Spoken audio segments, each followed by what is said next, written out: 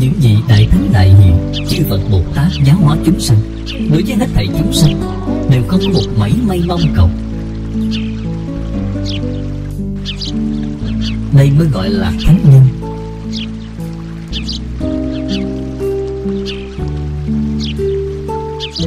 Bản thân chúng ta cần phải thường xuyên đọc tụng, cảm ứng thiên chúng tôi có in cuốn sách nhỏ, chú giải đơn giản về cảm ứng thiên mọi người có thể thuận tiện mang theo bên mình. Trước đây tôi ở đài loan, khuyến khích các bạn đọc học của chúng tôi hàng ngày buổi tối đọc một ngày cảm ứng thiên để làm thời khóa tối. Chính là thời khóa tối đọc thêm cảm ứng thiên đọc cuốn sách này rồi, nghiêm chỉnh mà phản tỉnh kiểm điểm. Trong cả ngày hôm nay, khởi tâm động niệm. Lời nói việc làm, có tương ưng với thiện pháp hay không? Nếu như tương ưng với thiện pháp, thì niềm thiện này của chúng ta cần phải duy trì, không được mất đi. Nếu như tương ứng với ác pháp, thì nhất định phải sửa đổi làm mới, phải sám hối đây mới gọi là tu hành tu hành nhất định không phải là đọc kinh danh một lượt đọc cho phật bồ tát nghe. Nó gọi là lừa người.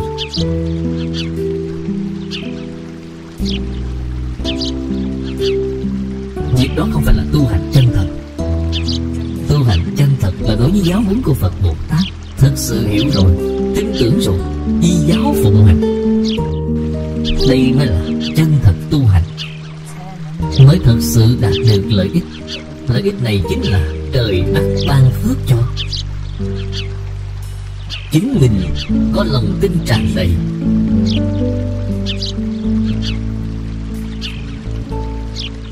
Thân này trong số các vị, Có rất nhiều bạn đồng tu mới đến.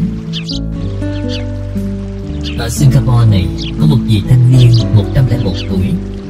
101 tuổi rồi, Nhưng rất trẻ trung, Không già. Có băng ghi hình Sẽ tặng cho các bạn. Các bạn đều có thể mang về để xem. Tại vì sao bà đã 101 tuổi rồi Mà vẫn trẻ trung như vậy? Thân thể và thế lực của bà, tai mắt tinh tường rõ ràng, phản ứng nhanh lẹ giống như người mới 30 40 tuổi vậy.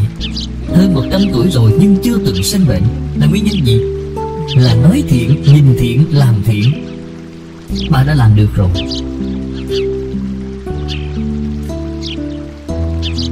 Bà có tràn đầy lòng tin là ông trời sẽ phù hộ cho bà.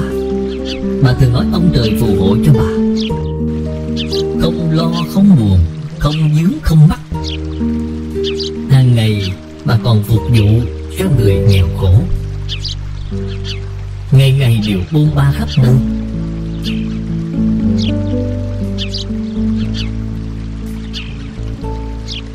Bà đã làm được rồi, không có lý do gì khác bạn có thể làm được, thì mỗi người đều có thể làm được.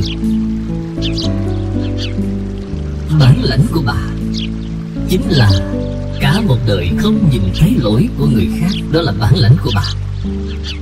Bà chỉ nhìn thấy điểm tốt của người khác, bà không nhìn lỗi lầm của người khác.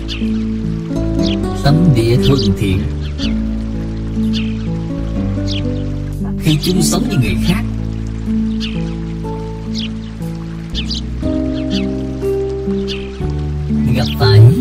chướng ngại bà thường là quay đầu nghĩ mình không tốt. Bản thân tôi làm không tốt. Tại vì sao lại khiến cho người khác không vui thích? Từ trước đến nay chưa từng nói người khác không tốt. Đây chính là điều mà bà đã 101 tuổi rồi, Mà vẫn có thể giữ được thân thể trẻ khỏe như người thanh niên vậy.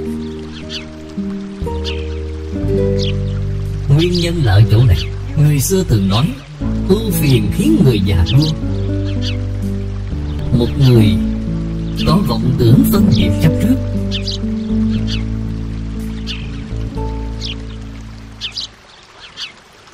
Trong tâm chỉ ghi nhớ điều bất thiện của hết thảy chúng sanh, thì người này sẽ già rất nhanh.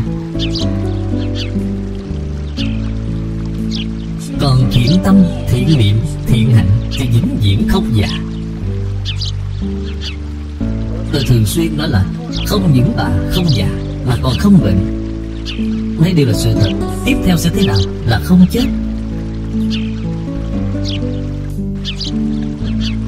Bà chết rồi cái gì đâu, Đều rất rõ ràng.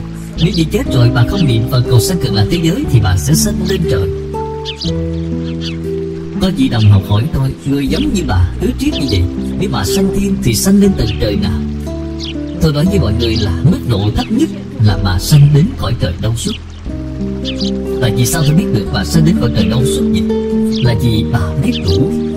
Cõi trời đau xuất còn gọi là cõi trời truy túc. Bà điều gì cũng biết đủ Một mảy may tham cầu đều không có.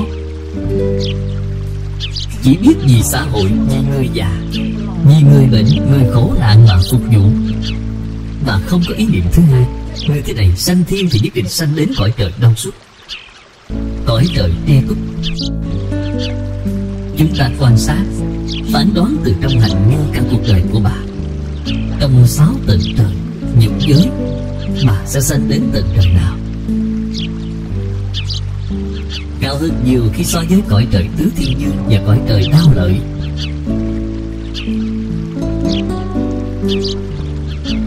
Đến khi 101 tuổi, bà mới quy y tam bảo mới học phật bà quy y ở cư sĩ lâm ngày ngày đều niệm a di đà phật và muốn cầu sanh cực lạc thế giới. Người thế này niệm phật cầu sanh cực lạc thế giới thì nhất định là thượng phẩm, thượng sanh.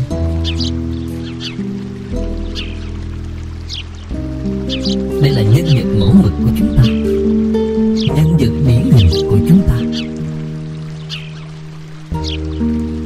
Cho nên cần phải khuyến khích thực hiện